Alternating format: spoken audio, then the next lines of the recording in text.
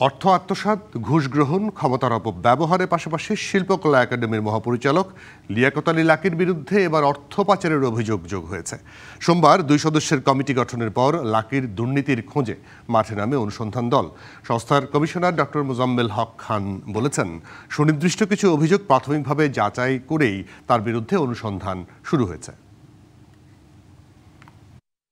টানা ছয়বার শিল্পকলা একাডেমির মহাপরিচালকের চেয়ারে লিয়াকত আলী লাকি। দীর্ঘদিন একাডেমির বড় কর্তার চেয়ারে থাকার পর এবার তার বিরুদ্ধে ফাইল খোলা হয়েছে দুর্নীতি দমন কমিশনে।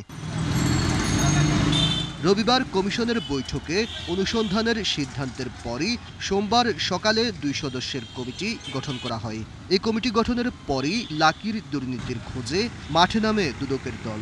ক্ষমতার অপব্যবহার এবং ভুয়া বিল, ভাউচার তৈরি করে দুর্নীতি করা, এই ধরনের অভিযোগ পাওয়া গিয়েছে এবং ইতিমধ্যে দুই সদস্য বিশিষ্ট একটি টিম গঠন করা হয়েছে। আমরা আশা করছি যে এই টিম দ্রুততার সাথে এই অনুসন্ধান কাজ শেষ করে আমাদের কাছে প্রতিবেদন দাখিল করবে।